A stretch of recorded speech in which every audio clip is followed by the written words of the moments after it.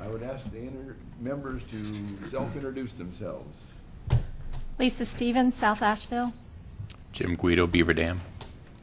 James Wilson, South Asheville. Peggy Ann, Limestone. John Yurko, Weaverville. David Zummy, South Asheville. Lori Camerata, Beaver Dam. All right. You recently received a copy of the minutes of the last meeting. Are there any corrections? Hearing none, the minutes will be uh, posted as submitted. If you're going to testify today, you'll have to be sworn in. So at this time, would you come forward, one of you put your hand on, or more, put your hand on the Bible, and the rest put the hand on the shoulder of the person? And I will swear you in.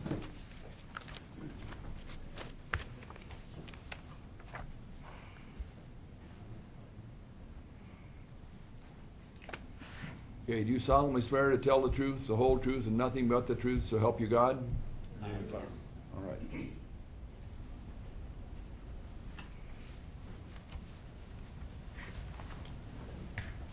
Okay, Josh, should we proceed with number one?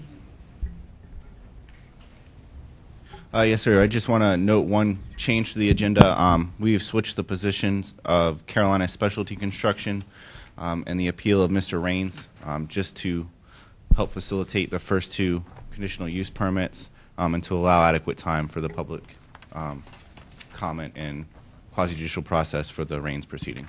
Okay, that's fine. The first case you have before you is ZPH 2011 00080. It's on behalf of Alpha Tactical LLC. They've applied for a conditional use permit for retail trade pursuant to section 78 677 and 78 678 of the zoning ordinance of Buncombe County in order to site a retail sales location in an existing structure located on tax lot pin number 9643877804 at 15 Loop Road, Suite B. Um, this site is an existing uh, business park, commercial development. Um, with the, the zoning designation in that area now, it makes retail sales a conditional use. Um, we've had no public comment for or against this particular application. All right. Who is presenting for the applicant? Okay, what's your name, please? I'm Dan Davis. Okay, sir, you need Okay, then why don't you come up here, Dan, so we can hear you? My name's Dan Davis. I represent Alpha Tactical. I'm uh, one-third owner in the business. All right. Please tell us what you intend to do. Well, the primary purpose of our business is that we are a training uh, entity. We also uh, operate under the name of Alpha Training Group. Uh, we have the primary purpose of training uh, in the areas of emergency preparedness. We train in CPR, we train in first aid, we train in the use of automatic defibrillators. We also train in the areas of self-defense, uh, which includes um, handgun safety. We also are certified to train in the North Carolina concealed carry handgun permits.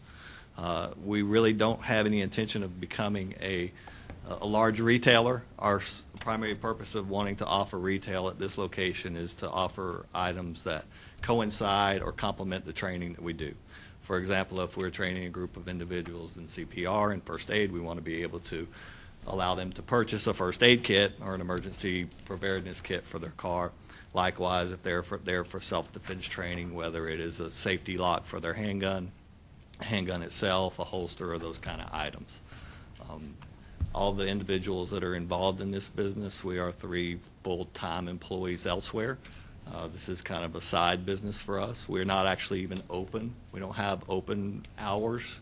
Uh, the only hours that we are there are the hours that we are there to train, which uh, typically are after hours because, uh, uh, again, each one of us work nine to five jobs. So there, we're there from 6 p.m. on on weeknights as well as Saturdays. We do most of our training on Saturdays. We also do do some training outside, uh, which is irrelevant to the case today. But we do go into doctor's office, dentist's office, and things like that, and recertify nurses and practitioners in, in the area of CPR. Okay. How many people uh, would come in in a typical class? I'm assuming you're. Our typical classes right now ranges from 10 to 12. We have two classrooms, and they're depicted in some of the pictures there, but our, our maximum, basically, in our two classrooms, our maximum capacity, if both classes were full, would be about 24 people. And if the business were to go, is, you, you would like it to go, would that be every evening and on Saturday? I don't know that I would want to be there every evening. Well, I'm, you I'm know. just trying to get a But feel sure. of what, what. Uh, every Saturday, we would love to have classes every Saturday.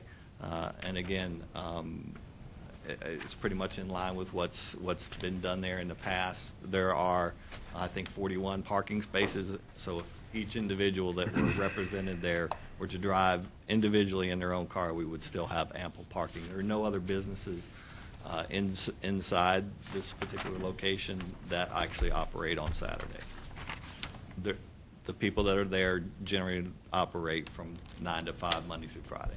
Is this a, is this a relatively new type of business in our county here? Is there, are there other? Don't know of any other. There's a similar business in Waynesville, uh, Carolina Readiness and Preparedness, uh, that teaches some of the same things that we do. But it's a relatively new, new business, business concept. Any other questions, comments? I don't think so. There's no chance there'll be a firing range or anything in No this? chance. Okay. Not that that makes any difference, I'm just Sure. curious. There, there's no area for that. Actually, we have property that's located in Henderson County that we do any of the, the actual firing range training at. Any other questions, comments? Is there anyone else who would like to comment or be heard on this? Okay, at this time, I will close the public hearing. Board members, discussion, motion?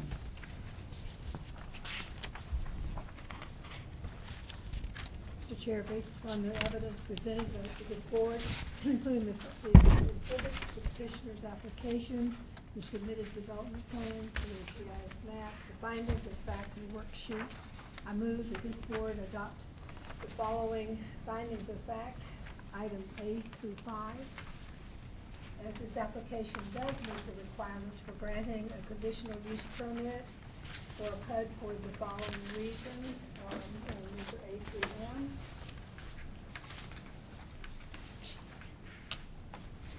Okay, is there a second to that motion? I'll second it. Okay. There's been a motion and a second. Is there any further discussion? Who, who seconded the motion? Thank you. Guido. Okay, all in favor, say aye. Aye. All opposed? Let the minutes show there was unanimous decision to approve the application. Thank you. Oh, one more, one more thing. Mr. Davis? Yes.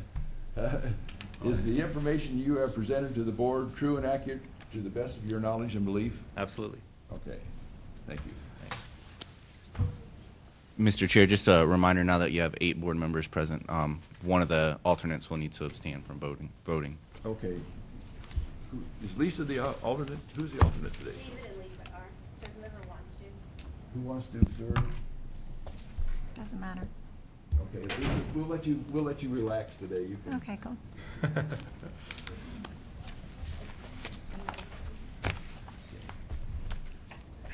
Okay, Josh? The next case you have before you is ZPH 2011-00084.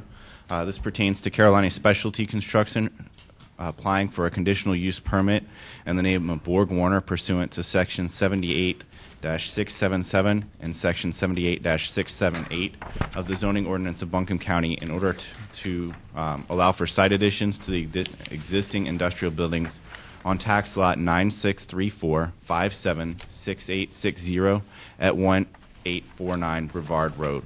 Uh, The reason this is considered a plan unit development is the site is currently over the 35,000 square foot threshold, so any additions um, to a building of that nature require approval as a plan unit development. Um, We've had no negative public comment about this issue. Um, we did encounter some citizens that were inquiring about it when we presented our sustainability plan in Avery's Creek, and after um, informing them what the applicant intends to do, they were generally in favor of the proposed development. All right. Who will be presenting? Ken Stubbs with Carolina Specialties Construction Company. Just a note for everyone who's speaking today, you need to speak into the microphone and you need to spell your name for me, okay? Okay, If you have a chair there. and Thank you. your Presentation. Ag- Again, my name is Ken Stubbs, S-T-U-B-B-S, and I'm with Carolina Specialties Construction Company, and we're the general contractor for the Borg Warner projects. All right. Uh, Borg Warner, as you know, is located, as you know, may have seen in papers presented to you. They're a rather large company on 80 acres of property uh, on Brevard Road, and they have approximately 12.5% of that property in uh, improved industrial facility, and they're wanting to make two additions uh, to their existing facility. One is a 2,650 square foot addition to their technical building, and the other is an 8,425 square foot building that will be used for maintenance to support the larger structures that are there. And um, we have gone through all the par- permitting process and now before you board for approval. In other words, this is a relatively small change. to It's a that very, very, very small amount to 11,000 a, Square feet, right? to a very nice, very well-maintained facility in the county. All right. Are there any other questions? I might say, Mr. Chairman, that we do have two board member, uh, uh, Borg Warner uh, employees here that might ask any, answer any questions that you might have if that's necessary. All right. Is, uh, We'll leave that. Is there anyone else who would like to present or make their case regarding this? The application says uh, that no new parking is required. Is that, um, has that been checked out by y'all's office? That's correct, since it's um, generally within the footprint of what exists now and it's a functionality expansion. Um, Our review of the area is that adequate parking exists per the zoning ordinance. Okay. Further questions or comments? All right, at this time, I'm going to close the public hearing. And, Mr. Stubbs, I would ask, is the information you have provided to the board true and accurate to the best of your knowledge and belief? It is, sir.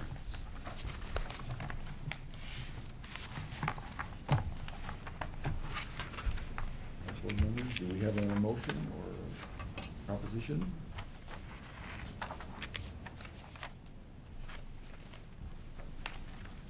Mr. Chairman, based on the evidence presented to this board, including the following exhibits, the petitioner's application, submitted development plans, GIS map, the findings of fact worksheet, I move that the board adopt the following findings of fact, numbers one through five.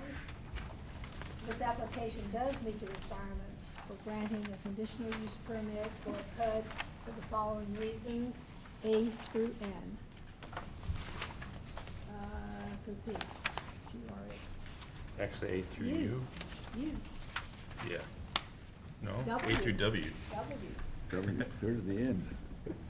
Pretty soon will be in double letters. Is there a second to that motion? A second. Okay, further discussion? All in favor, say aye. Aye. Aye. Opposed? Let the minutes show it's unanimous vote. And now we need a motion to approve the denied application. I move that, uh, based on the foregoing findings of fact and for the reasons set forth therein, I move that the requested variance be approved. Is there a second? A second. All right, there's been a motion and a second to approve the application. Further discussion? All in favor, say aye. Aye. Aye. Opposed? Let the minutes show there was unanimous support of the submission. All right? Thank you, Mr. Chairman and board members. Thank you for your consideration.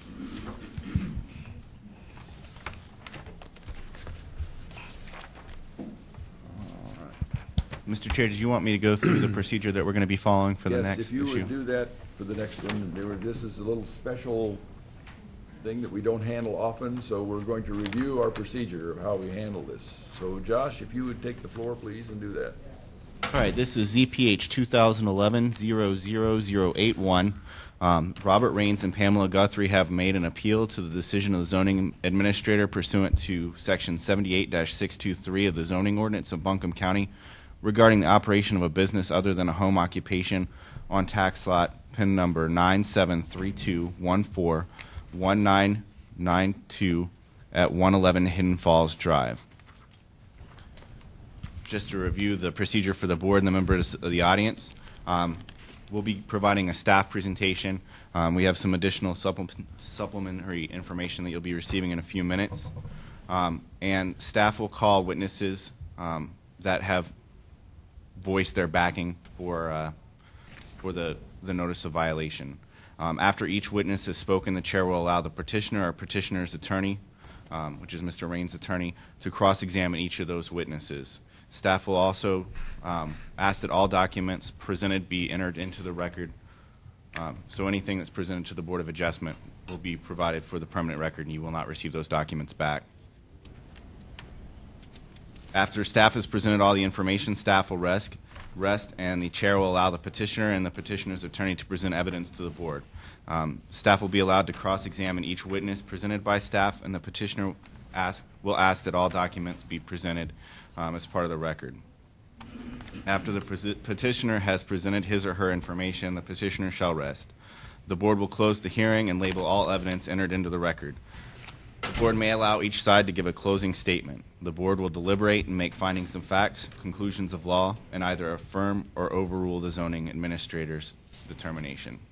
Um, just another note, anybody that presents at this hearing um, or in this proceeding will be subject to cross-examination by either side. So I want to make sure everybody understands that before they, they come up to the podium. All right, has everyone got the understanding? Both up here and out there? If I can add one other thing, the, the issues before us, or before the board, is solely on whether or not this property is a home occupation. So anything that does not relate to whether this is a home occupation, or what is not relevant and should not be considered. So I would instruct everybody who's gonna come up and testify to basically keep it on the issues and, and and not, you know, bring in other things that are relevant.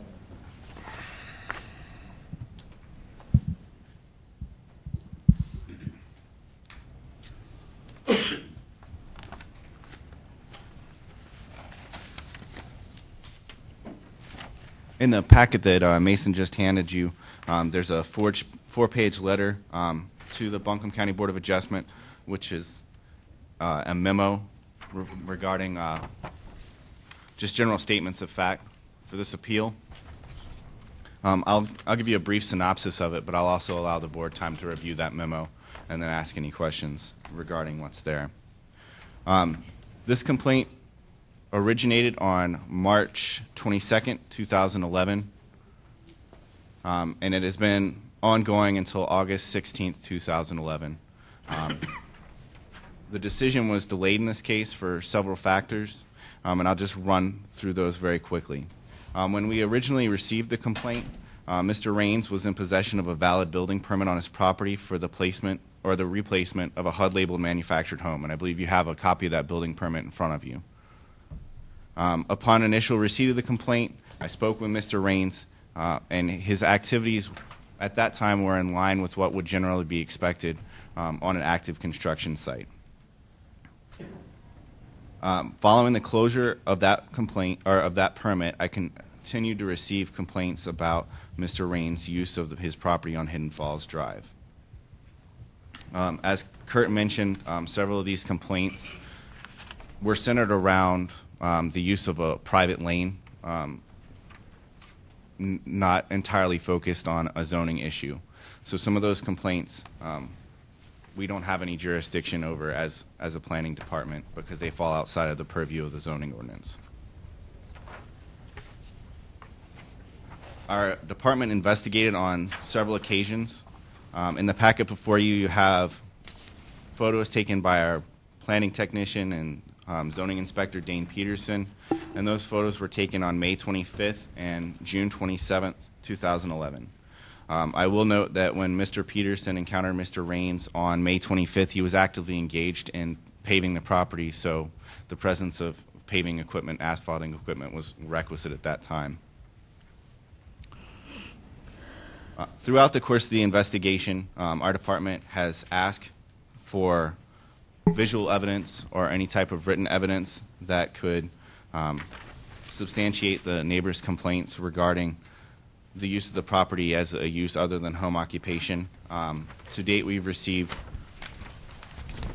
photographs that were presented by um, originally by a Byron Gaynor um, and then by Jackie Weinreich. Um, there are four total photographs, and I believe the board has those available as well. Um, over the course of the investigation, we continued to ask neighbors to present any evidence that they had that could confirm or deny any specific use of the property.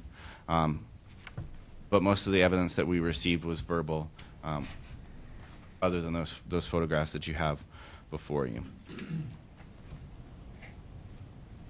Um, at, at one point during the investigation, um, we kind of felt like we had the issue resolved.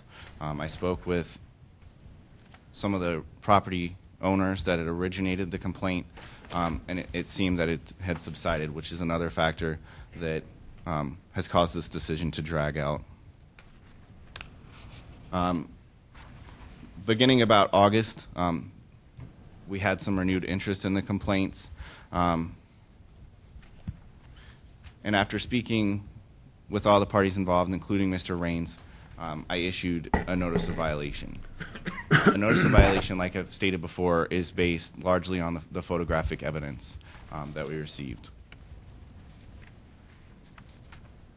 I do want to state for the board that there's not a large volume of evidence in this particular case, um, and one of the reasons for, for issuing the, the notice of violation was to allow all the vested parties um, the opportunity to become to come before the Board of Adjustment and have the case heard in a quasi judicial format. Um, with it dragging on as long as it, it has, um, we wanted to find some ultimate resolution for the case. And with the mechanisms that, that we had for the zoning ordinance, it, it didn't look like we were going to reach that at, at any point. So that weighed into the decision to issue a notice of violation.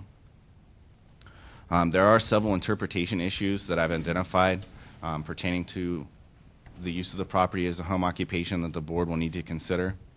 Um, one is with respect to home occupations and the storage of personally owned assets. The zoning ordinance does not provide clear guidance regarding whether an individual can park a business vehicle at their residence. For example, if an individual has a tractor or a box truck in the operation of their business, what rights do they have to store the property at their place of residence? Um, Mr. Raines owns several vehicles, as exhibited in the tax records that you have before you. Uh, these vehicles are registered as personal property rather than business property.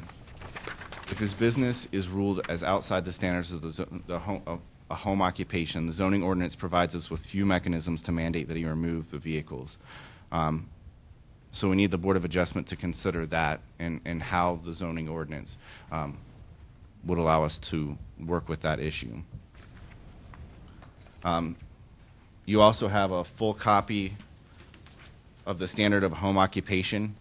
Um, Section 78641 states that no traffic shall be generated by home occupation in greater volumes than would normally be expected in a residential neighborhood. Um, I wanted to identify that I've conducted some research into what is a traffic volume considered in normal in a residential neighborhood. Um, engineering standards place that at around 10 trips a day, although there's considerable um, variability in that. And, and just to define a trip, a trip is any time someone leaves the residence or any time someone returns to the residence. And that's just based off average engineering studies. Um, there have been several references to the presence of a dumpster on Mr. Raines' property. While a dumpster is not common for a residential use, it is not explicitly banned either. Um, he's justified the use of that dumpster um, for economic reasons and why there may be some correlation. Um, there's nothing that pertains specifically to a dumpster. Um, in addition, there's been references to the volume of paving on the property, and again, the zoning ordinance in that particular district doesn't dictate impervious surface or the installation of asphalt. Um, we've already addressed the issues about the private drive. I just asked that the, the board um, make sure that none of that bleeds into this case. Um, and that pretty much concludes um, my statements on the case. I, I have tried to look into the case regarding um, NC Department of Commerce business standards and vehicle registration, um, and from my com- conversations with the Department of Commerce, um, there's there's nothing that would require him um, that I've identified yet to register those vehicles as specific to a business.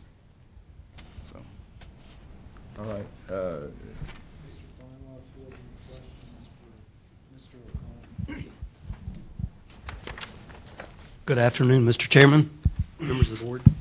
Mr. O'Connor, Mr. Connor, Mr. O'Connor, thank you for your summary of what's transpired today. Sir, can you state your name and how to spell it, please? Excuse me. It, my name is Stephen Barnwell, spelled E S-T-E-P-H-E-N, Barnwell, B-A-R-N-W-E-L-L.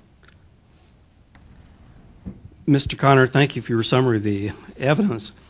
Uh, If, if I may, I would like to mark as Petitioner's Exhibit 1 correspondence that was, was received by Mr. Raines. And ask you if you recognize this.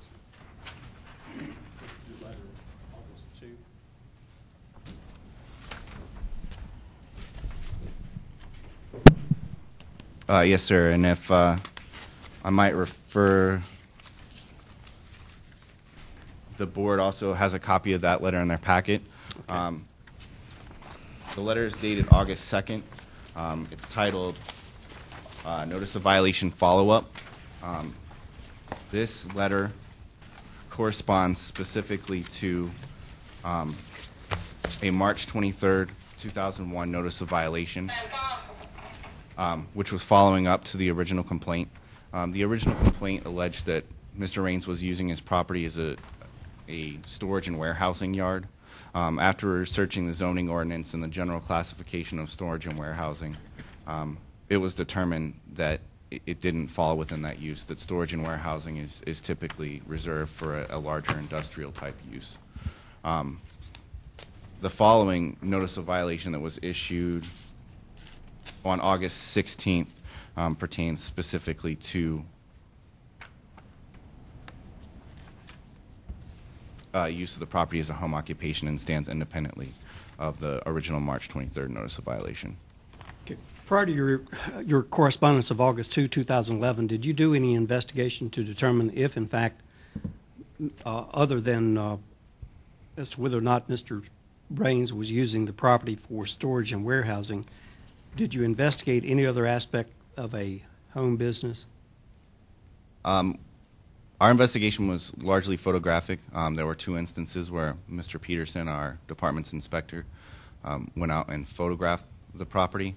Um, we've also done some initial investigation into corporate registration of the, of the, the business um, and, and tried to trace it to a particular address. Okay, when you submitted your correspondence of August 2, 2011, would it be a correct statement that you had no other evidence that would substantiate that Mr. Raines was in violation of the ordinance with respect to the R1 classification? Um, no, as I said before, these are, are, are two different notices of violation. Um, I ended the one referring to the storage and warehousing, um, as I said before, based on the fact that I didn't feel there was sufficient justification or evidence for that particular use. Um, but we continue to receive complaints regarding his his use of the property as a home occupation, so that complaint was ongoing until um, the issuance of the August 16th notice of violation. Okay, your, your correspondence of August 16, the notice of violation essentially concludes that he is violating the ordinance by conducting a occupation that is in violation of the home occupation. Is that correct? That is correct. And in that correspondence, you set forth the factors that uh, were to be considered in regarding the, uh, uh, what a home, what exceeds the uh, definition of a home occupation, did you not? Are you referring to the second paragraph beginning Second with paragraph, pursuant? that's. Yes, that's what the zoning ordinance states. Okay. Now, do you, do you have any evidence to the contrary that the residence that is on the property, which is the subject matter of this matter, is being used uh, only incidentally or, or- or secondary for business purpose? Do you, do you know if it is primary residential? Uh, Our understanding is, is primary, re- primarily residential. Okay, During your investigation, did you, did you uh, find any display or outside storage or change in appearance of the building or the premises that would be visible evidence of a conduct of uh, home occupation and/or any other occupation? Um, as I stated in, in my original summary the, of the of the case, um, the issue revolves largely around the, the use of the vehicles on the property um, and how that corresponds to the definition of, of a home occupation. How how many vehicles do you, i- i- did you discover that were being used in what you deem to be or a, uh, an occupation?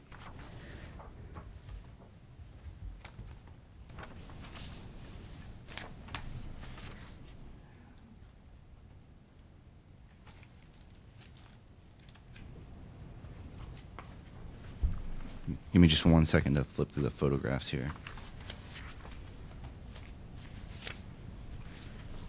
Um, as identified to the board, it's, it's difficult to, to make that in- determination since the vehicles are privately registered as to whether um, their presence on the property at any particular time corresponds directly to the business. Um, if you refer to the pictures that were submitted by Brian Greiner and Jackie Weinreich um, that were taken um, between 3:25 and 3:28 p.m. on 6/3/2011. Um, it appears that there are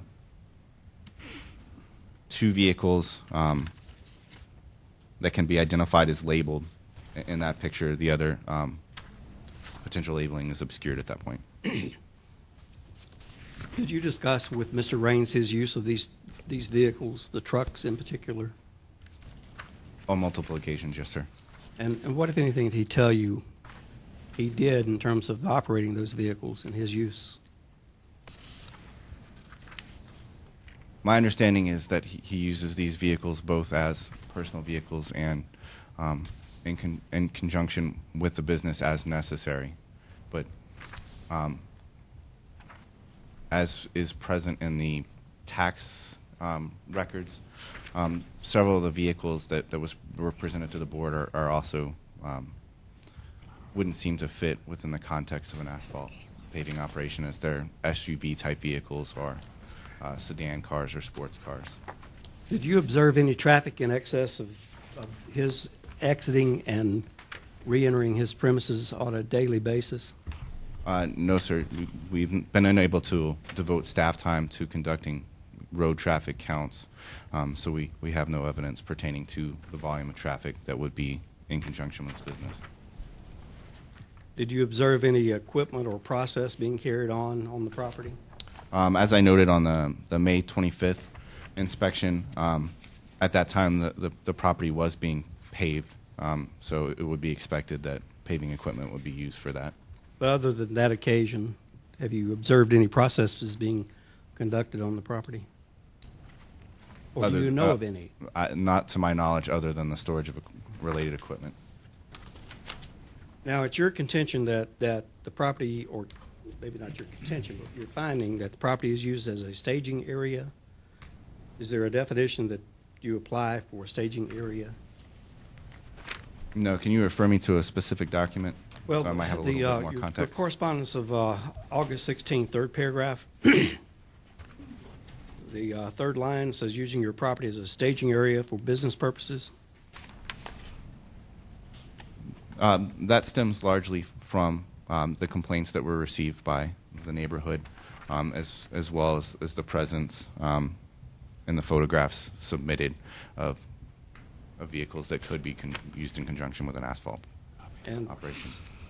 and what, what additional traffic do you contend was created by his business operation? Um, from the statements that we've received from neighbors, um, the complaints allege that employees are arriving on site in the morning and then removing the, the, the equipment um, to, to go to paving jobs, I would presume, and then returning at the end of each day and then leaving in their personal cars. Thank you.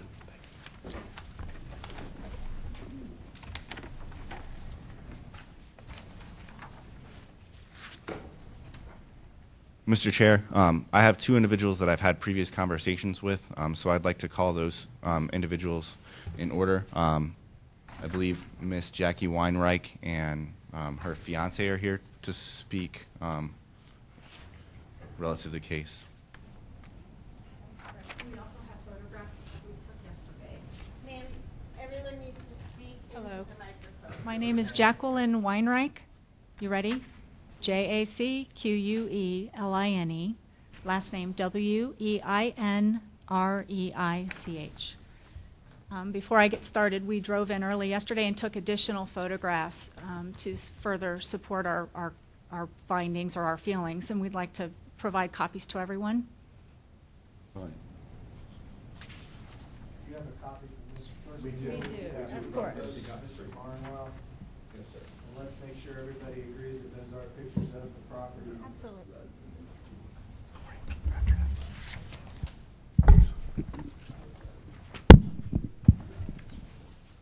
You?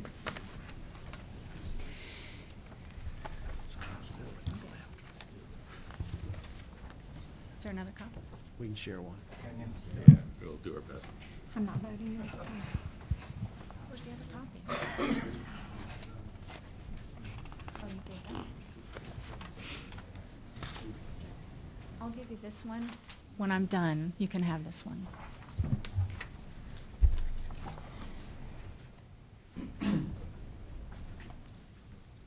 Okay. Hold on, let's just make sure that Mr. Barnwell agrees these are pictures of the property. This is the property in question that we discussed.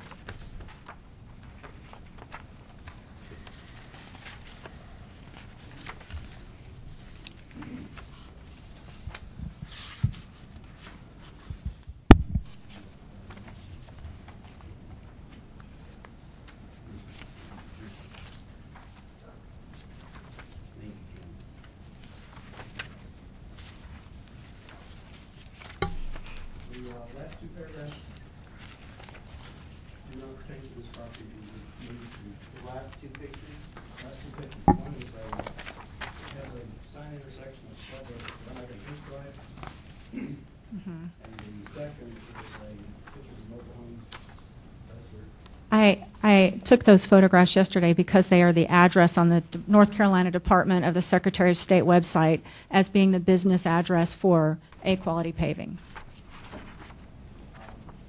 it- It's gonna be up to, he's objected to two photographs as to their admission. I think that the remain- remainder were in agreement or admissible, that we have any objection to. and keep it- I, I do have the rest of the property. I do. Okay, so the board needs to make a decision whether you're gonna admit those last two photographs. If you feel that they're relevant, Say again what they are, please. That is the address of the business address for A Quality Paving as listed on the North Carolina Department of the Secretary of State as their legal business address. And that's which pictures? It's the final two pictures. I'm showing you Shelba Drive, which is clearly a mobile home park, and the final photograph is 133 Shelba Drive, which is a single residential zoned R3 mobile home. That is shown as his legal business address. Is that the same, that's not the same property, though, that's, that we're making a judgment on? I'm just showing that he's showing a legal business address that is in a mobile home park, and that's also not zoned. I, I, my, my goal was to find a commercial address where he could pop, you know, oh, could you just move your vehicles there, was our goal. And when I Right. pulled in, I saw a mobile home park. I see. Okay, so this is different, and this is a different address. That's correct. It's his legal business address, which is a mobile home park. And I, I will state for the board's clarification, um, typically, from a zoning ordinance perspective, um, the registered address of a business is not something we typically look at, um, largely because Buncombe County does not require any type of business privilege license. Um, we only look at where the business is, is currently in operation, which in this particular case would be um, the contested piece of property. Is that address that you show in those last pictures in the vicinity of this? No, it's in Candler. Well, as this board has a great latitude of what it will admit, I, my, my advice to the board would be, if you feel that this is relevant and adds something and and is, is, is relevant to the discussions that we're having, that you'd admit it. yeah, I- I'm going to allow that it, that it be admitted. Thank you.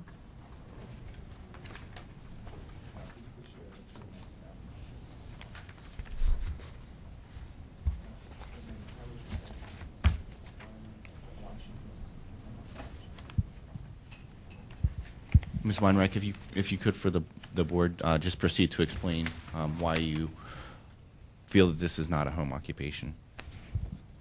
Why I feel that A quality paving is not a home occupation? Well, can I go through my presentation? I do so in the process. Is that okay? Okay. Um, Well, good afternoon, and thank you for the opportunity to come and speak. Uh, My fiance Mark and I drove here from Florida to speak on this issue. A little bit of background, in 2008, we traveled um, through several communities looking for a place to buy property on which to build our dream home. We fell in love with Buncombe County, specifically Weaverville. Um, we met with a, a well-established and knowledgeable realtor in the area. His name's Byron Greiner, and I had three stipulations. I wanted three and a half acres at least. I wanted a large creek, and I wanted it to be zoned R1. I've developed several properties in Murphy, North Carolina, which is Cherokee County, and I'm very well aware of zoning ordinances and how powerful they can be. So, he showed us several pieces. We fell in love with Hidden Falls Drive. We fell in love with the area. We fell in love with the 4.7 acres on the beautiful Reems Creek. And we purchased that property and closed in December of 2008. Since then, we've traveled here many times to just drive around and get to know the area and sit down by our creek and watch the ducks go by. Um, this past year, when we came up, um, we drove up our quiet one lane road and were horrified to see that the lot across from us had been leveled and paved. So we took photographs. It was apparent to us that Mr. Raines and Ms. Gutherie were running a business, a paving business. And I was very well aware it was zoned R1, and I'm curious as to why someone can run a business in a residential area. Now, to start with the photos, I understand the road is not your jurisdiction. We just wanted to show you, this is from Hidden Stock, looking onto Hidden Fall, or from New Stock Road, looking onto Hidden Falls. And it's a private one-lane road. And the fact that I'm showing you the one-lane road, the second photograph shows a typical vehicle going up the road so that you can see how narrow, in fact, this road is. And in many cases, there's nowhere on either side of the road to go if a large vehicle comes down the road. Now, the other thing that it's hard to tell is that there are two blind hills. I'm talking steep hills where you don't see what's coming until you get to the top of the hill. Yes, Ms. Weinreich, if we can, we, we really need to. I'm, I'm getting there. Well, I, I understand that, but you're being called as the county's witness. Okay. And what we're gonna ask you, and, and the zoning administrator is gonna ask you specific questions. Okay. To answer his question. Okay. If you get to page four, the, the lane goes all the way to the end. If you get to the end of, uh, on page four, at the end of the road on the right is 111 Hidden Falls, or, yeah, Hidden Falls. And what Mr. Raines and Ms. Gutherie have done is they brought in fill dirt and they leveled the entire lot and they paved the entire front of it and basically made it a parking lot. And in the very bottom right corner, you can see the edge of their mobile home and what looks like their personal vehicles. And then farther down, you see two trucks clearly, clearly marked with A-quality paving. There's also a dump truck with a very large trailer of paving equipment. And on the other side of that, further photographs will show that there are two other large pickup trucks marked A-quality paving with large um, trailers behind them. There are several photographs showing this. Also, you know, the, the storage shed would be considered normal, I would assume, for a residential area, but the dumpster, I have no idea why two adults and one child need a dumpster, economic or not. I just know that when I plan to build my beautiful dream home and live here, I don't want to come out my front door and look at this. It's clearly a paving business. The few times I've been there, I have witnessed employees driving up in their vehicles. I have witnessed employees driving up in their work vehicles and getting in their personal vehicles and driving away. I am now afraid to drive up my road for fear that a dump truck will be coming down it and may, maybe not pay attention and I'll end up in an accident. It's, it's ugly, it's a business. It's disrespectful. I just spoke to my realtor this morning telling him why we're here, and I asked him what this does to my property value, and he busted out laughing. And he said, It clearly devalues your property. I said, Will we be able to sell it? And he said, Not for what you got for it. So I'm concerned about what that does. I'm seriously reconsidering whether or not I would even build here because I'm not interested in looking at this. Now I'd like to bring up my fiance, Mark Yegge, and let him say a few words. Okay. The county- the county's the one that's, that's, that- that'll be calling the witnesses, and I think that if, if you don't have anything more to add. Nope, I'm good. sure Mr. Barnwell may have some questions for you. Sure he does. I, I do have one question. Um, on what date was the property Oh, I'm property sorry. We transacted? took these yesterday between 3 and 4 o'clock, I would say. No, on what date was the property transacted? What what date Oh, did you I, purchase? I closed on December 8th of 2008. And could you show us on this, Oh, which sure. property is yours? This is Hidden Falls Drive. Mhm. This large vacant piece of 4.7 acres is mine, and that's the creek, and that's Mr. Raines. Okay, and where, the, this, the head of Hidden Falls, where you took this picture, is where? it I'm is? down at the end of the road. Okay, there's Hidden Falls Here's- right I'm there. at the end of the road where Okay, so New it's out of Stock, the map. Okay. New Stock meets it. So there's a number of properties No. that use hidden, this single lane I believe drive. 15, something like 15. Okay. Did everybody s- see that, what we were talking about? Okay. Fifteen properties, okay? Hello. Hi, good afternoon. Does the staff have questions before I commence? Before he commences, does the board have any more questions of Mr. Ms. Ms. Weinreich? All right, you're good. Ma'am, your, the attachment to your exhibits sets forth the definition with respect to a home occupation. And I believe your, your contentions are, tell me what your contentions are that Mr. Raines is in violation of with regard to a home occupation. I would consider a home occupation to be something that's not visible outside the home.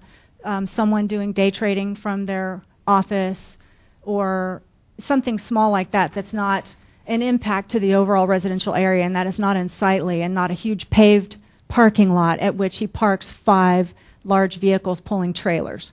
Okay. Now, your photographs, I believe, evidence at most three vehicles with business signage on them. Is that correct? Five. There were there's a white pickup truck. There are three dark green pickup trucks that I've seen there. There's also a dump truck. Okay. Would you point to the photograph that establishes what you're speaking of? Well, the white pickup truck is on photograph four. You can see it between the two personal vehicles and the green pickup truck.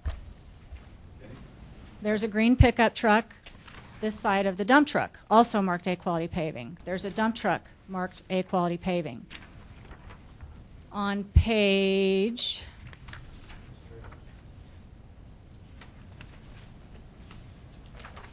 On page nine, on the other side of the, of the dump truck towing the very heavy equipment, paving equipment on it, is another green truck marked A quality with a, a large trailer. And in front of that, further down by the shed, is another green pickup truck marked A quality paving.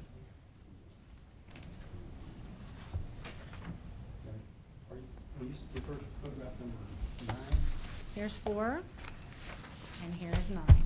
So four shows you to the pickup truck, and here's nine, the other side of the pickup truck. Let me ask you if the dump truck that's depicted on the nine is not one and the same as the dump truck.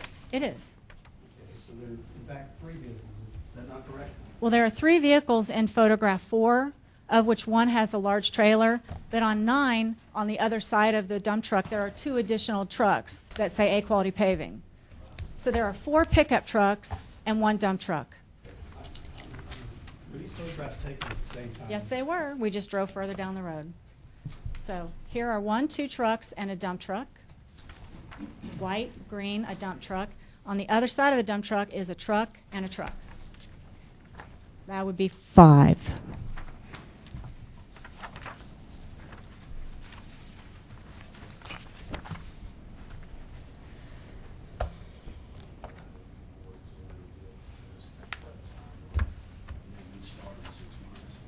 Now, It's still there, and it's still very unattractive. Hold on, just, ma'am. Now, with respect, to with respect to traffic, have you conducted any traffic count of vehicles coming in and out? No, I, I don't live here, but the, the two times I've been here, I have encountered one of their employees and had to pull off the road in a private vehicle. Private Thank goodness it wasn't a dump truck.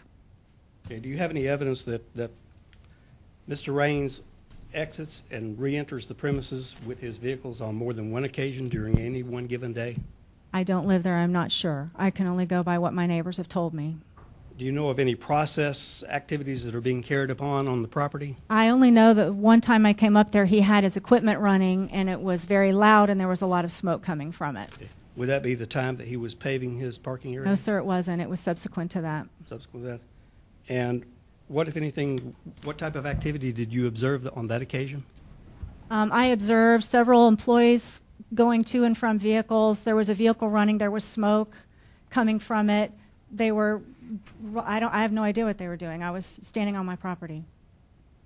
I have nothing further. of you. Thank you. Board have any further questions from this? Yes, I have a quick question. This road here, is that Hidden Lane Road? Well, the road is to the left of it. That's their front yard that's been paved. That is the road, the lighter pavement, Right, that's the road. correct, is, is the one lane road. Now, Is, is there anything else you want? Well, I, I would like to add that when we, when we looked at this property and fell in love with it, one of our concerns was that MSD was at the end of it. They were in the process of putting in the new lines right across the creek. But we had been, um, been told that they were basically not, not evacuating that, that area, but they were making it a lift station. And it was still going to have some equipment coming and going, but it was going to be minimal. I was, I was okay with that because the zoning was there before we moved in and I understood that. My concern is this is zoned R1, and this is an industrial paving business, which is not a home occupation, with a lot of vehicles, and it's very unattractive. And it's, it's a residence. And I'm just asking that you, you, you please give us some, some assistance in returning it back to its original beauty and making it our neighborhood. Mr. Barnwell, do you have any, you want to cross-examine any of the statements that were made? I do not. Um, I just have a couple of questions. You said you did research on the Department of uh, Secretary of the State uh, website. Yes, just Do you this- have the, the name that that corporation was registered under? It was na- uh, registered under A Quality Paving. Um, Robert Raines is the shareholder, registered agent, and principal, um, principal owner of the company. It is the business and mailing address of 133 Shelba Drive. Is- However, is- that address is actually registered to a Matthew and Laura Eggleston By registered, do you mean they're the, the on property the county's owners? website of that address. Correct. And do you know if that corporation is still active with the Secretary of State? It did say active on the website this morning. That's all the questions I had. Uh, I have homework for that. Okay? And when, when you check the uh, Secretary of State's website, uh, what documents did you specifically look at? Um, we, we researched the business A Quality Paving. We Okay. put it into their, the search engine and it came up with that name. Did you, did you ca, did you look at a copy of the Articles of Incorporation? I did not, but my fi- fiance might have. Okay. Did you look at the annual report? No. Okay. Do you know, according to the annual report on file with the Secretary of State's office, what the registered, who is the registered agent and at what address the registered a- agent is for the corporation? I just know that the cover page for A Quality Paving on the North Carolina Department of State shows A Quality Paving is owned and operated by Robert Raines at 133 Shelba Lane. But did you specifically look at the last filed annual report? No. Did you look at the Articles of Organization or the Articles of Incorporation? Thank you.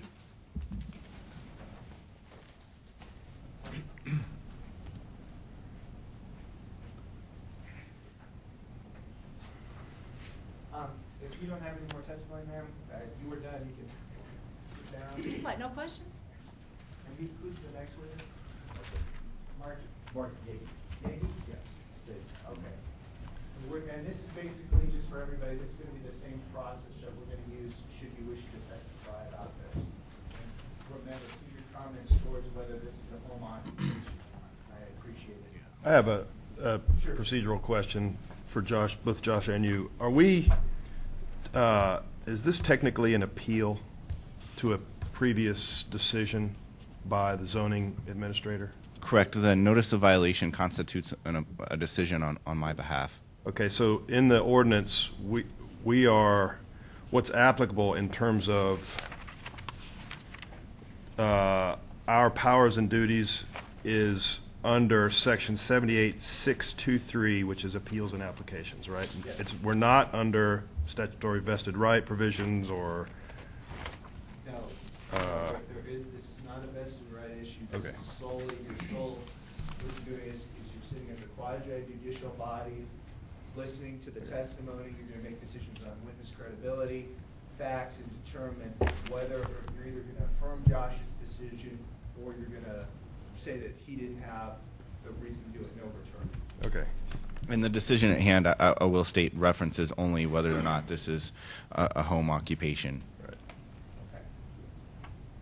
And, and just to clarify that, your decision is that it's, I, I, as I stated earlier, it's a there was a notice of violation issued based on, on photographic evidence. So based on that evidence, so you're um, saying it is a business occupation? it it I, my statement was it did not fit within the guidelines of uh, a home occupation based on the pictures submitted and statements made by neighbors. Um, I did bring it to the board of adjustment because, as identified, there's some issues of, of ambiguity, and we did have trouble as a department um, getting a coherent body of evidence other than the, the pictures submitted by Ms. Weinreich. Okay.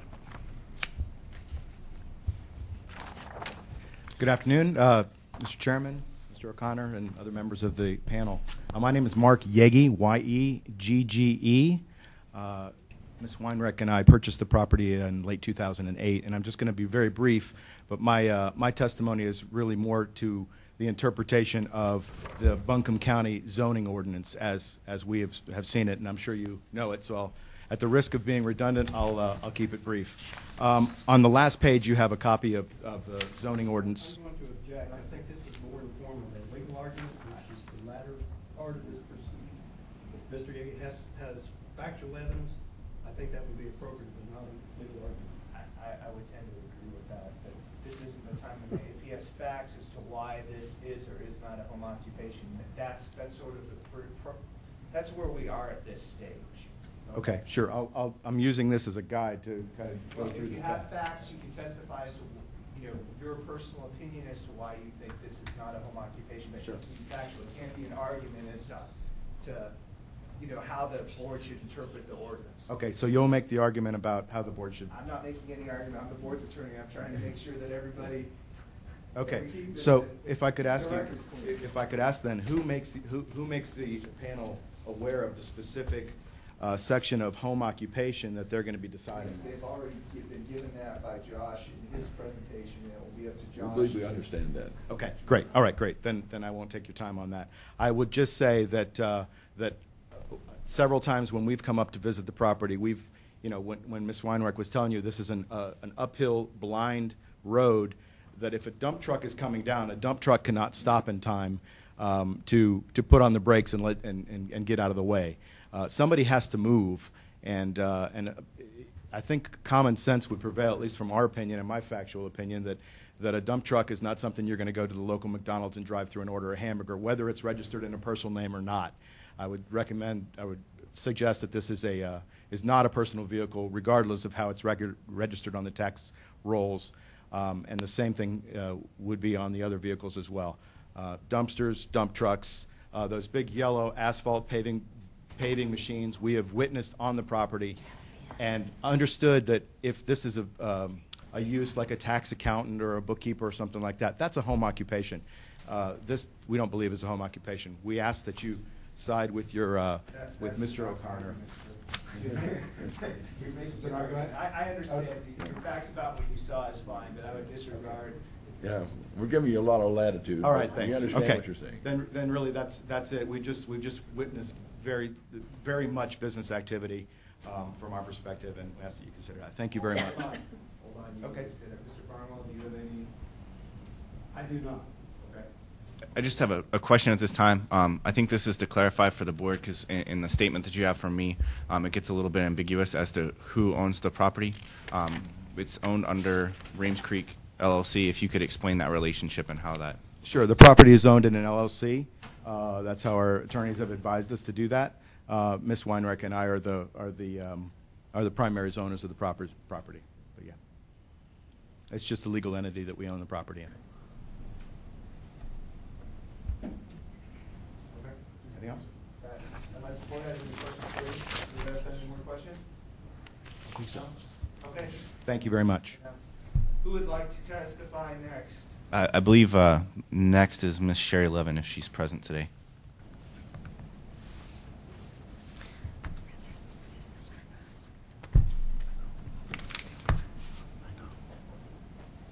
Just to clarify the procedure, Ms. Leaven, after you state your name and spell your name for um, Jillian, if you could just start in on um, factual findings of why you feel this is outside of home occupation. Um, I'm Shari Leaven, S-H-A-R-I, Leaven, L-E-A-V-E-N. Um, I'm here today to just support um, my fellow neighbors in the statement of this being a usage outside what I consider R1 home occupation. I have made observations in the last 10 days of the comings and goings of the traffic, the impact on our lane pursuant to the part that, that talks here about no traffic shall be generated by such home occupation in greater volume than would normally be expected. This, um, these vehicles, I don't know if you need copies of this. If this? you would, we we need do you have multiple copies of No, I that? just made one, but Okay. you'll be, you're more than welcome to make First thing, copies. We can make more copies, but first thing we need to, a- anybody that has any evidence or pictures or anything you're gonna show, you need to show it to Mr. Barnwell, um, prior to submitting it to the board. Are those just your notes? These are, yes, well, they're um, observations that I've Okay, made. but, but are they things that you witnessed personally? Personally wis- witnessed, yes. Okay. So And you I can did note. testify to everything on that Absolutely. paper? And I did note it, note the dates that I was not available for observations on when they left the property. I mean, if she's, gonna- do you have any objection to that? I have no, no objection. Okay. So we'll make copies of that, and enter that into the record. But if you could just testify to what, or you need your notes to testify. No, no, no, no, that's it, that's all. I just, that- that's just my addition to um, everything that has been already stated. And I um, am one of the original complainants on this um, situation. Can you state for the record what you actually saw? I- No, th- This, is- you Well, I- you know, you're, you're talking in- in ver- ge- very general terms. Did you see 10 vehicles in an hour? Okay, or- yes. Um, In the, mo- on the mornings when I made these observations, um, the, the gentlemen would come in in their vehicles, they would pick up these large pieces of equipment, the dump truck with this piece of equipment on the, on the back of it, another gray truck with a piece of equipment on the back of it, and another truck would follow that out every morning. Sometimes they come back midday, um, you know, sometimes they come back mid-afternoon. The, the times vary, so that's why I did observations for the last 10 days to kind of be a little bit more specific. It's, it's very difficult to be specific. Um, I don't live in my house 24 hours of the day, so I can just speak to the times when I've actually observed this. I have had, upon occasion, had to pull off the road and let these vehicles pass me, which means I had to go into the ditch. Fortunately, I've never met them on the hill going up, so it hasn't been an issue, but um, I foresee a lot of problems this winter with the ice that accumulates on our lane. I don't know how in the world anyone would get out of the way of something that large coming down that hill if it were icy. Is it, is this a private road? It's a private road. It's a driveway, basically. And I will state for the chair that we've had, uh, uh, personally, I've had difficulty um, identifying the ultimate owner of the road.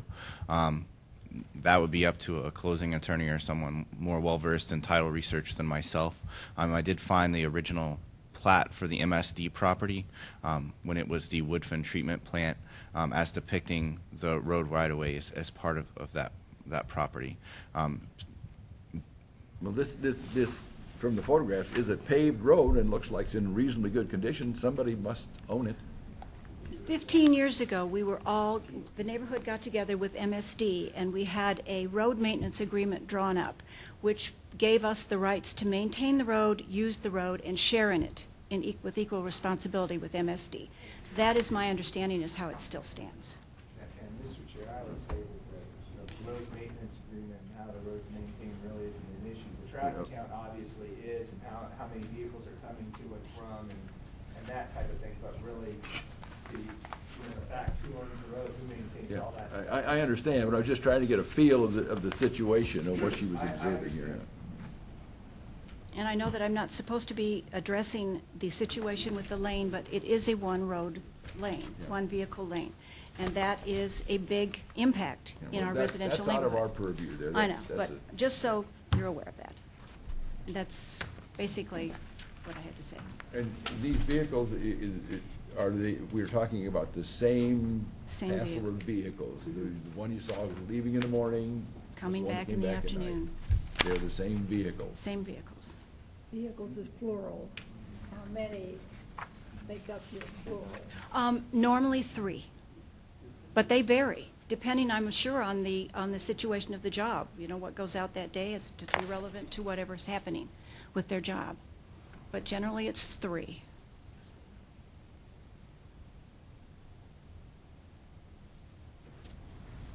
And I, I will note for the board, um, now that Ms. Leaven has, has testified, um, in the memorandum that I wrote to the board regarding this notice of violation, she's identified as complainant A.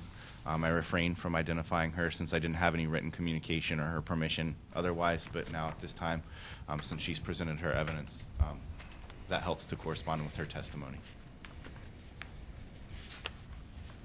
Does, does the board have any more questions? Yes, I, I, I have another, uh, are these the same, have you looked at the photographs that, Mhm. that she presented They are the over there? same Are these vehicles. the same vehicles that Yes. she enumerated? Yes. The white truck and the blue With pickup and the The green white truck pickup? with the big piece of equipment on the back, and two smaller trucks with paving equipment And do attached these to them as vehicles well. have signs on the side? Yes, they do. Enumerating what the business was? A quality paving, yes. All right, any other questions? Mr. Barnwell?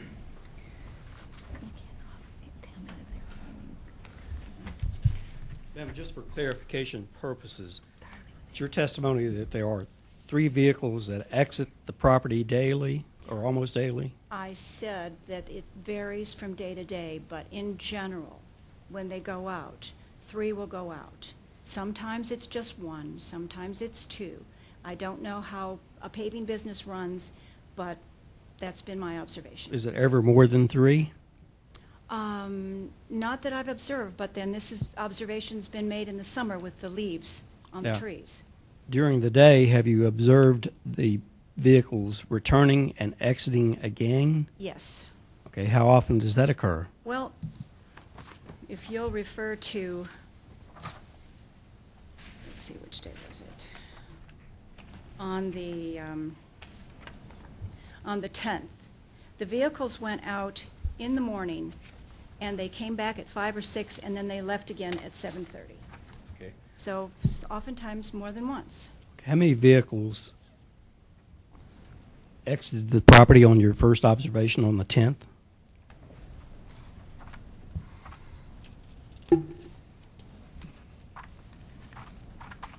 It probably was two that morning. How many vehicles did, did you observe returning?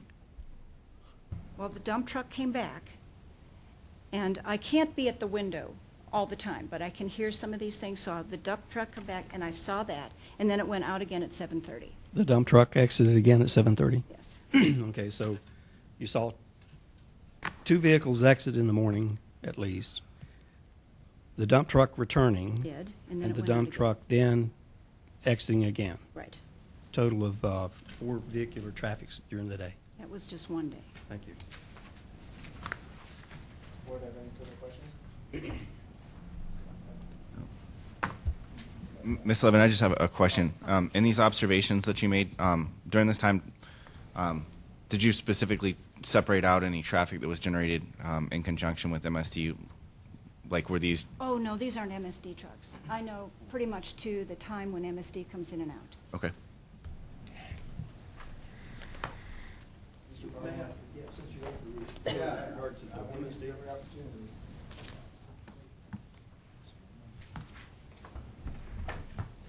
I- I'm going to hand you photographs and ask you, first of all, you recognize any of the vehicles in those photographs? Ah, I don't have my glasses on.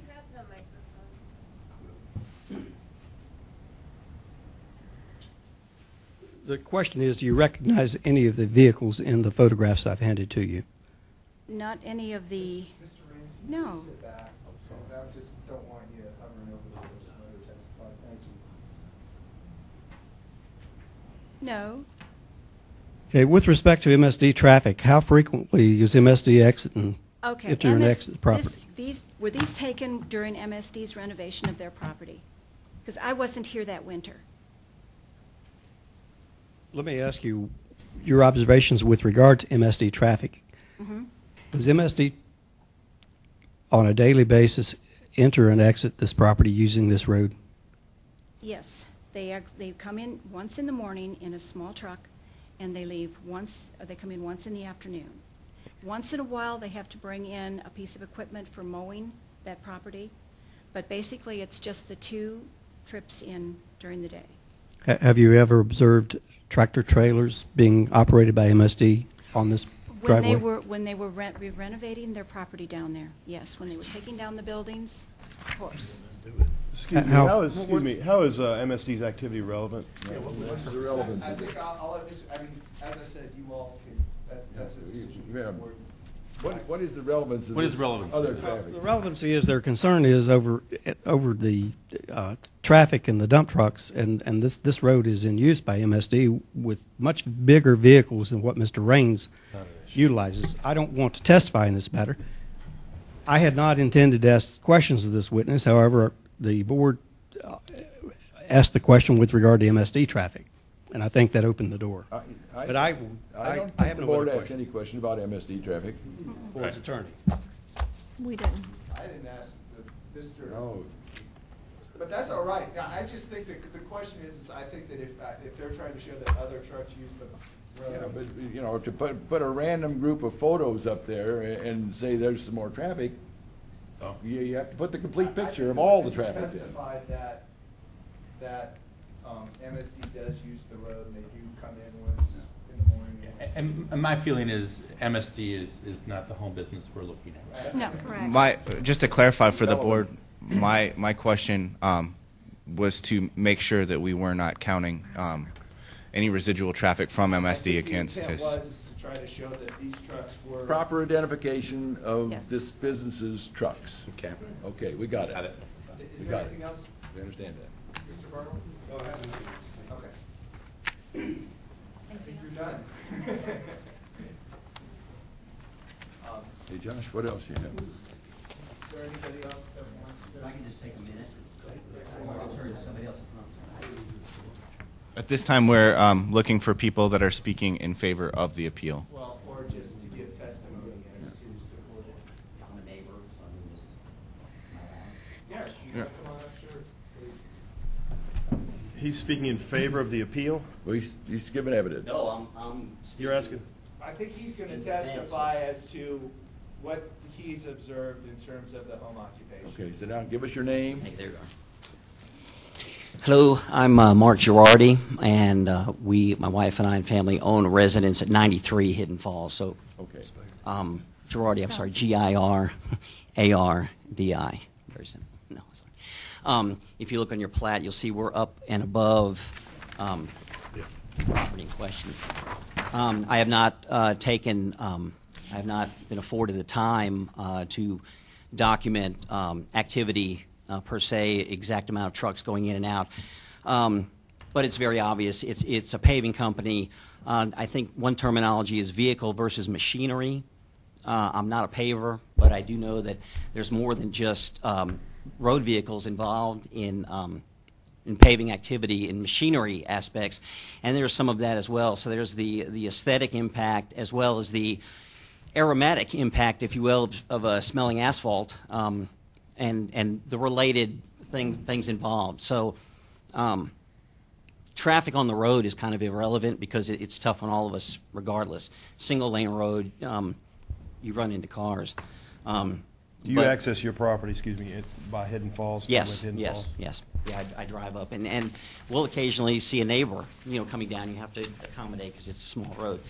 Um, but the uh, the question is is the use of the property, and um, it, it, it's functioning as a business, in my opinion, and that's that's really just what I wanted to to state. Uh, it's it's got names on the trucks. I I have no disrespect for for anybody or him or how he's, he's doing it, but it's they're coming in and out and cleaning the trucks, and occasionally I'll see them when I get home at night and hear the hear the activity. Um, but that's how it's it's, it's functioning. So that's that's my two cents. Uh, Mr. Girardi, if, if you could just clarify um, what you see on, on the property. Um, well, occasionally we'll see the dump truck come in with machinery behind it, um, and I'll observe. I can't really see through the trees because we're kind of up, up and above, but there'll be some some um, smoke and steam and things rising. So I don't know if they're cleaning the trucks or or prepping for the next day. I don't know how the whole functionality is, but it's it's obviously maintenance of the machinery and just you know related activities. In your general view, does, does, does that dump truck and machinery arrive at the end of every day? Is it, does it park there daily? I couldn't speak exactly every day, but uh, it, it, it appears to be functioning as somewhat of a, a business uh, based upon job. You know, they, they have three jobs this week. Maybe it rolls twice, and they don't have a job the next week, and it doesn't roll. But it's fairly consistent on, on uh, in and out. You do observe these, these trucks, the ones that have been described before, with the signs on the side identifying to this particular firm? Oh, yes. coming and Going? Yes, and, and like I say, i- i- regardless of the traffic, which is, is a challenge anyway on a single lane road, it's just, yes, the trucks with the logos um, located there, leaving, coming back. Yes. Mr. Barnwell, do you have any questions? I have nothing. Do you have Approximately, I, I- I know where it's kind of situated. Approximately how far are you? Like, just can you kind of like a distance? Um, a- as I pull into my driveway, uh, then my house sits off of Hidden Falls, and then you have to go on down um, approximately eighth of a mile to get to this location. And the noise generated from there, you hear at that distance? Yes, and it's not a every night, 120 decibels, but it is there. It's it's it's commercial in nature. In other words, And- it's not residential. In nature. What kind of noises do you hear? Well, clanking and banging, and you know, trucks unload. You know, as they couple the trucks and do you know do their truck things. You know, I I, I don't know how asphalt machinery works, but I mean, it's just it's a business. Is it, it's it's very evident, and if we had the, the cameras, it, it seems to be functioning. So. Does the truck, does the dump truck have a backup beeper? Um, I can't say 100% yes up. or no, but um, it, it's it's a fairly large dump truck. Mr. Barnwell, do you have any? I do not, thank you. All right, um, Mr. Bianchi. Does anybody else wish to come up and speak? Okay.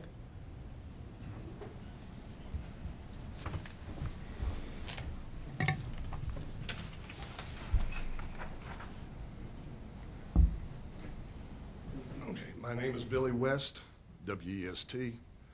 I own the property at 101 Hidden Falls, which if you can check your map is directly below Mr. Raines. I do not personally live there. I have my 80-year-old mother and my 57-year-old brother live there. They've been there since December of 2000. 2000. I've met Mr. Raines. It took me a while to meet him. I have no problem with his business, his vehicles. I have investigated on my own when I started hearing these complaints and got the letters from the participants mailed to my home on Newstock Road. So I investigated on my own using my brother and my mother as investigators. As to uh, the noise, the smell, the traffic, and they reported that they have no problem with it at all. They hear, Wait, wait a minute. You, you, you, you, you didn't see these things or hear them then? I'm going off of what my brother and my mother have told me.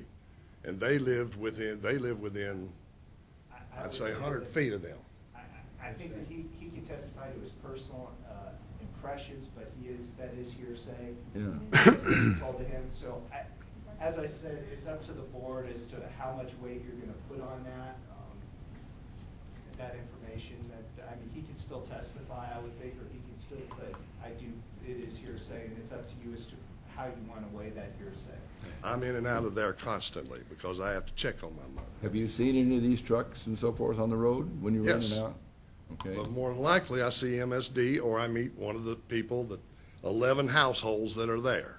Would you say on, on, on your trips in and out of there, how often do you meet, meet one of the vehicles from this firm? It's very seldom that I meet his vehicles. What is the It's, time- you- it's, what is pardon? the- What is the time frame that you generally? That I'm generally there, it's usually around anywhere from noon till four or five in the evening. Depending on what my mother needs, if she calls me and needs something then, that my brother cannot provide, then I go over there and it could be any time. But other than that, usually it's, if I meet traffic and I have met them on the hill that they're talking about, and it was a very, very large dump truck compared to his, I had no problem getting out of its way because you cannot, Okay, yeah, that's fine. But it was MSD's, it's not him. And I just don't understand the problem here. He does not run, I don't see him running the business itself from that location. Yes, he has equipment there, but he does not run the business from that location. The business is off Okay. there. I don't think you're in a position to, to say that. Okay. I guess, unless somebody's got a question, I guess I can't say anything else. No, you know. well, it's, it's, you can testify to your personal opinion, or what you see, what you think, what you. My personal, my, you want my You personal an opinion? argument, you can give what you've witnessed. Okay. Yeah, what, what you've seen or what you've heard. What I've witnessed is these plain complaints, and this is my personal opinion, my investigation, what I've come up with. The complaints that were registered against him stemmed from him meeting certain individuals and making what I thought was a correct response, and they got offended. So all of a sudden, now these complaints start arriving. Like I said, I have no complaint. I should be the one that would complain because his property has impacted on mine. But I worked it out with him instead of running to But from you your, or from anybody your else. viewpoint, from your personal experience on the property you own there, you have no objections. Is that what you're saying? None whatsoever. But it, it, in order for me to get some, some weight on this, it seems like you've had some conversations that have led you to these perceptions. Who I've these had been conversations, with? yes. I- Who have these my- conversations That's how you been with? investigate something. You talk to people. Who have these conversations? Have they been with the neighbors? Have they been, who is, who's the conversations? I've talked to some of the neighbors further up, uh, uh, the Buchanans, for one. Unfortunately, they're not here. It's two sisters. One of them's an invalid. I've talked to them. My wife has talked to them. Uh, I've That's talked it? to Mr. Raines several times Okay. because of the condition of my, his property inf- influencing my property. Where is your He property? served it. Yes. Pardon? Where? Right here? One oh one's just below him. Right, Below. No, no, um, below. There you go. right there? Okay. When you talked to Mr. Raines that you just referred to, what did he tell you? He, he referred me to the complaints because I was coming up there to talk to him about the situation in my Can property. you be more specific? He told me about uh, the complaints of uh, one of the neighbors coming down there in her vehicle when he was first doing the construction, and that uh, he informed her that she really needed to keep the vehicle out of there so that it wouldn't get damaged because of the vehicles there. That's when the complaints first started, from what I understand. And then this last one was the uh, individuals with the property across from him offering to sell him an acre of it. He offered the price. I wouldn't have went that price, but uh, she got offended evidently from the price he quoted her. And I've built houses here for Okay. up until two years ago, eight years ago. There's no way you can build a house on that property. No way. Um, Mr. Barnwell, do you have any, uh, any, any questions for the witness? I have nothing, thank you. You- You spoke of an impact on your property. Yes, his property did impact on mine. The- When he brought in his soil, and the spring rains he hit, before it could compact, it was coming down the ravine, the hill, and washing onto my property. What was the resolution for that? get it compacted. I, he put up silt screens, several of them. I put up bales of straw that helped the situation. But for him to stop all that water coming down Hidden Falls on his property, which now is ending up on my property, he had to pave it. And he did, he built the berm. Since he's done that, I have had no problems whatsoever with his runoff. Was there a permit pulled for the fill on the property? The only permit we have in our packets for replacement of a mobile home. Correct. Um, there, there was no need for that. Um, I, I'd have checked in with stormwater and erosion, erosion control. Um, for a residential site, there's an acre threshold that has to be met, and, and It's his below site's the only an acre. So Okay. Anything else? Mr. Barlow? Okay. Thank you. Yeah.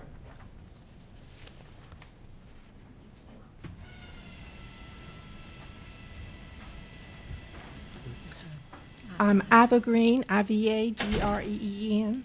I've lived at the place that I live now on, I'm the first drive, 49 Hidden Falls Drive on this drive, on the right. I've lived there 34 years.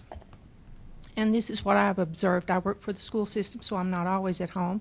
But during the summer, I was at home. And in the mornings, there would be three trucks that would go out, and it seemed to go with somewhat like the weather. I guess that's the way paving companies do. Three trucks go out, and behind those three trucks is a trailer, and it pulls paving equipment. Those trucks will come back in in the afternoon when they go out. Um, one evening, and I can't, I don't have documentation to tell you this, but one evening, the dump truck, which is one of those trucks that pulls a trailer with that equipment, went in and out maybe five times. I'm assuming that he's working on those, uh, on the equipment at the time. So what I have seen is trucks, up to three at a time, with a trailer on the back, with paving equipment on it, going in, and that's what comes back in, in the evenings. So, And these trucks are the ones we've been talking about. With the quality signs on paving. the side, same Right. trucks. and that's what I see with these two eyes. Trucks go out with trailers on the back with equipment on it, and then they come back in. And what, what is your objection or uh, observation of these trucks? You're just driving down the road and you're just observing, you've seen No, it? before these trucks can go out, the employees that are going to drive them have to come in. They go down and get in these trucks, and then the big trucks go out. Then, when they bring those trucks, big trucks in in the afternoons, those big trucks come in, and then those employees go back out. So that's numerous vehicles on our driveway, which is that one lane driveway. Your, your primary objection or ob- observation is the volume here. There's a Right. large volume of traffic On coming that up road that I'm not from supposed this to talk business. about, right. Excuse me, could you, um, could you tell me approximately how many employees you think you see in these trucks? Yes, because whenever the trucks go in, um, there will be at least three cars that will go back out, but sometimes there's a, um, a lady that comes in, she must pick up one of the employees, We'll bring that person in, and then she'll come back in the afternoon and pick them up. So it will be however many vehicles go in and out, and Mr. Raines has a little pickup truck too that has a quality paving, and that's the one that he usually drives, that I've seen him driving. Okay, so, um, so your estimate of employees, could you just give a guess? I would think that he has three employees. Okay, thank you. This is just from observation. All right, other questions or comments? Barlow, do you have any questions? No, thank you. Okay. Anybody else that wishes to speak on this matter? I want to know who lives there. I want to know, and when he bought the property. Evidence you want to present, Josh? Um, I have a, a couple of statements to make at this time. Um, Well, Hold on, if there are arguments, no, it's just is this more evidence? Okay. All right. there was there was some mention of a, a letter that was circulated uh, among the neighbors. Um, I've this is I've heard of that letter. Um, my understanding is the neighbors were informed that we had sided with one side or the other um, in this particular matter. Um, I just want to clarify um, for any further proceedings that the county doesn't side with an individual um, once they make a complaint. We side with whatever the, the county zoning ordinance states. So I just wanted to make sure that that was clear. Um, in your packet, there's a packet that contains several emails. It's um, two emails to a page.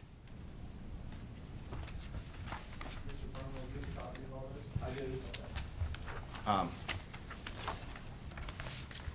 There was a request uh, to our office to provide the, the names of the Board of Adjustment members. Um, And following that request, you as members of the Board of Adjustment received advice from our office to make sure not to engage in any communication with that. So I just want to make sure, um, prior to this proceeding to the vote, that that evidence is entered and any members declare any ex parte communications that they may have had as a result of, of that email or communication from that individual. Um, I'll also mention that when I was looking into the road and this, this use, um, when the, the complaint originated very early on, um, I did attempt to find out if there was any restricted covenants on any of the properties um, or, or the road itself, um, because the, the best manner would be able to, to solve this civilly, um, since there is some ambiguity in the zoning ordinance, and, and I wasn't able to find any kind of civil relief like that. Uh, Mr. Barnwell, do you have any? I do not. At this time, do you have any more witnesses or any other evidence you want to present? At this time, let's make sure that we have all the exhibits that are going to be presented by, that are going to be entered into the evidence by Mr. Bouquet. I have the notice of violation, petitioner's appeal, the staff's memorandum and attached documents, which consist of a bunch of things. Josh, you can go through those with me. Those consist of a copy of a letter dated March twenty-third, two thousand one, or two thousand eleven, a copy of a letter dated June seventeenth, two thousand eleven, uh, what appears to be a handwritten document, um, signed by Mr. Raines. Just to note, that's a response to a request for information in the June 17th, um, 2011 uh, letter issued by myself. I have an August second, two thousand, uh, August second, two thousand eleven, notice of violation follow-up. I have an August sixteenth, notice of violation. And I have an August twenty-nine, two thousand eleven, it looks like to be the appeal of your decision by Mr. Raines and Ms. Gutherie. Correct. Okay. I also have in the packet emails from Brian Reiner, uh, to Josh O'Connor, dated, I'm sorry, dated. Dated June seventh, two thousand eleven. And it looks like there's one, two, three, four, five on the first page. One, uh, bunch on, all right, those emails. I guess that I will just consider this document to be a packet of email correspondence. I have here a zoning certificate of compliance for 111 Hidden Falls Drive issued on what appears to be December 28th, 2010. I have photographs submitted to planning dated June 28th, 2010. And there are one, two, three, four, five, six photographs in that packet.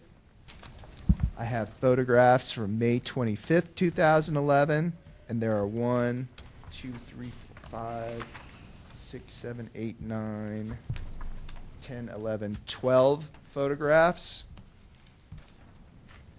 I have photographs from June 27th, 2011 for 111 Hidden Falls, and I have one, two, three, four, five, six, seven, eight, nine photographs in that packet. I have in that packets photographs submitted by Robert Raines in response to the June 17, 2011 correspondence. And I have one that would be two pictures. I have pictures submitted by Brian Greiner and Jackie Weinrich, and that would be two pictures dated uh, June 3rd, 2011. Four, oh, it's double-sided, okay, four pictures, thank you. I have tax records uh, for vehicles belonging to Mr. Raines, and there are one, two, three, four, five, six, seven, eight, nine, nine different tax records. All right. Next thing I have are the photographs submitted by Miss Weinrich, and I don't know how many there are. 11 photographs. And then I have the Miss Leaven's traffic count. And that would be a memorandum that consists of two pages.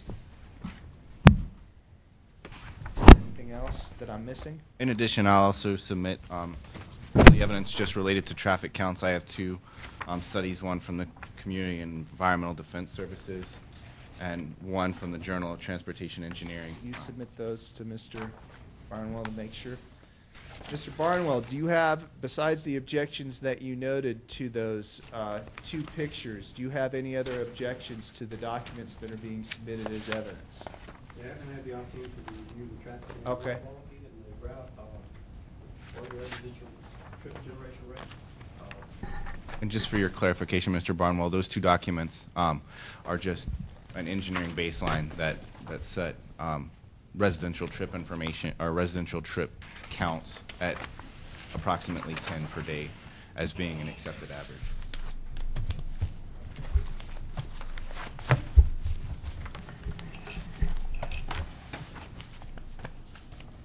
You want to hold off on?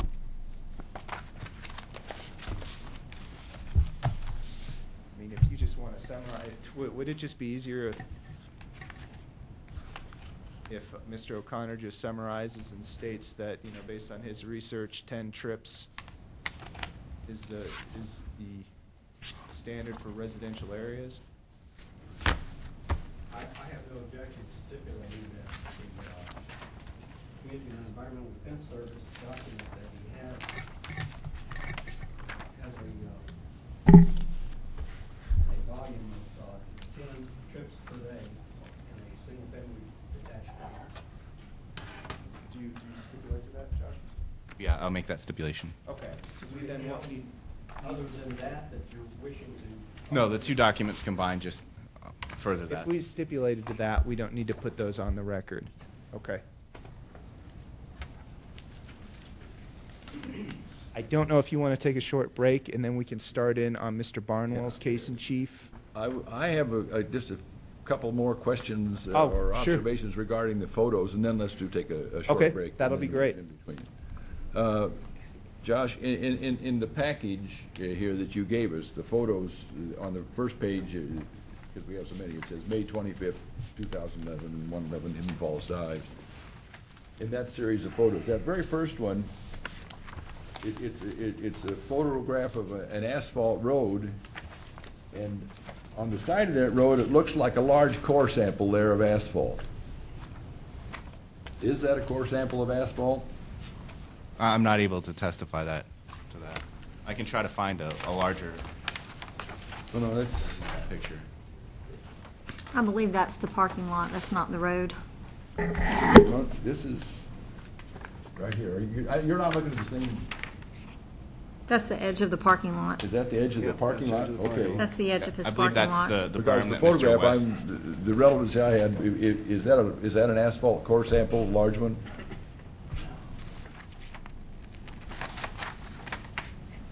Okay. I have, I have one more question too, just before we recess. Bear with me, I'm not, I'm not done yet. Oh, no, that's all right. I'm, I'm just trying to make sure that we get, at least get the documents admitted to evidence, that's Okay, all. there- There's another photograph in there uh, uh, uh, showing a gate. This is a, a- a steel gate, been painted orange, quite rusty. But on this gate, there is a sign that says, "Danger, no trespassing," That's the gate to the MSD property, Mr. Chair. to the MSD. Yes, sir. Okay. And there's another uh, uh, gate that's chained, I think it's a gate that shows a fence post with the barbed wire and then a gate with the chain on it and a lock. That's that same gate. Uh, That's MSD. Correct, and, and the- the reason that's, that's relevant in this particular um, case is there were some accusations um, and some conversation about Mr. Raines parking his, his vehicles on MSD's property. I had Mr. Peterson go and investigate that specifically, and as you can see, the gate's locked, so he wouldn't have access to park on that property. Okay, I was just trying to determine if it's relevant to the property we're concerned with here. Yeah, it's immediately adjacent. Immediately adjacent, all right. Okay, I think that's the photographic questions I had. John? I have one question. We got a property card for the property in question, 111 Hidden Falls. Is that, is that the address? What you have, It's, it's a property card for 111 Hidden Falls. Is that the address of the subject property? Correct. I, I would, that wasn't in the, the documents I had. No, you would have to look at those separately. Was that presented, did you? Uh, we have That's part of our packet. Part of our Part of the packet. Part of the packet. Mr. Barnwell, do you have any objection to the property card? Um, It says the owners are Robert Raines and Pam Gutherie. It says a different address as their, as their, as the address on the property card for, for, I guess, for a mailing address. So has it been established in evidence that this property is actually a full, the full-time residence of the applicant? Do we know? I have no other indication otherwise. I have done research to find out if there's other property owned by Mr. Raines, but all indications from my conversation with Mr. Raines, the Buncombe County um, tax records, and conversations with the neighbors is that he is living there. Okay. So how do we rectify that, that there's a different address on the property card? That's a situation I run into daily. Um, normally, when I issue out a notice of violation, there's a 50% chance that it will not go to the property owner. Um, and you'll see that if you look at the other property cards for the surrounding um, property owners, a lot of those do not correspond to the, the property location. It's a pretty common situation. Okay. Off the record, I can answer the question. That would be the property address that was taken from the deed at the time of the transfer, and that was not Mr. Gutherie's primary residence at that time. At that time, the property consisted of a rather rundown old home, which has since been removed and replaced by Mr. Raines a new dwelling, which is his primary residence. Is this the point, time and place to point out the fact that the definition of a home occupancy relies pretty heavily on the applicant actually living in the, in the building? And that, that They- that and they haven't had unsubstantiated it- and they occupancy is haven't had a chance- relevant? Well, they haven't had a chance to present their Okay. case in chief yet. Usually, we just go where, where staff presents their case, in Okay. this case, since there were so many witnesses that wanted, we kind of, we're kind of going in reverse order, but they, they obviously have a chance to present their evidence and to Okay. establish those facts. Okay. All right. And I will say that um, it's my recollection that um, Mr. Peterson, on the course of ins- his inspection, did encounter Mr. Raines at the residence. Did or didn't? Did. Did, okay. All right, does, does that bring us to a break point? If you want to, yes, ma'am. All right, let's take a 10-minute break and come back here. It's Uh, now- Mr. Chair, we, we'll need a motion to uh, accept the, the evidence Yeah. that was presented. Oh, all right, we can, Ah, let's see. Okay, would someone like to make that motion that we accept the evidence presented to this time? Yeah. Is that how we delineate it? The county's evidence. that you Coun- did- the county's county evidence. evidence on the record. Sure, I- I'll make that motion to accept the county's evidence presented at this time. I'll second. Okay, there's been a motion to accept the county's evidence as presented up to this point in time. Any further discussion? All in favor, say aye. Aye. Aye. Opposed? Oh, one, one just quick thing, Board of Adjustment